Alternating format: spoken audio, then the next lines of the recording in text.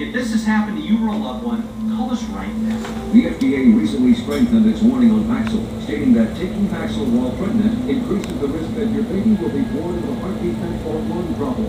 Call us right now. You may be entitled to financial compensation. If you used Paxil while you were pregnant, call the Goldwater Law Firm now to find out the truth.